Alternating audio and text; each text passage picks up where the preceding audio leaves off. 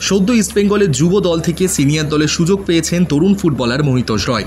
পাঞ্জাবের বিরুদ্ধে away match খেলতে যাওয়ার আগে প্রেস কনফারেন্সে কোচ কুয়াদ্রাতের সঙ্গে উপস্থিত হয়েছিলেন তিনি। শুধু মোহিতোষ না ইস্টবেঙ্গলে Sayan Banerjee, Aman CK, Jason TK, Shyamal Besra এদের মতন তরুণ ফুটবলাররা রয়েছে। বিশেষ করে আগের ম্যাচের কথা বললে সেই আগের ম্যাচে সমর্থক এবং কোচের নজর কেড়েছেন আমান সিকে। তবে এই ম্যাচে সৌভিকের অনুপস্থিতিতে কোচ আবারও কি ভরসা জাগাবেন?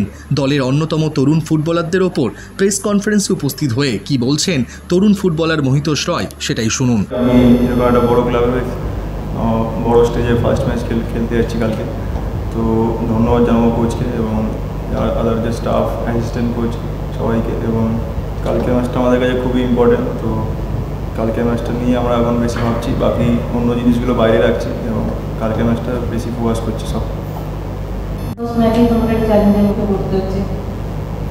আমি তো অনেকদিন ধরেই প্র্যাকটিস করছি ফার্স্ট টিমের সাথে তো এটাকে আমি ভালোভাবেই নেব, কারণ এই ম্যাচটা আমাদের কাছে খুবই ইম্পর্টেন্ট তো আমি চেষ্টা করব যাতে নিজের হান্ড্রেড পার্সেন্টটা দিতে পারি ম্যাচের মধ্যে।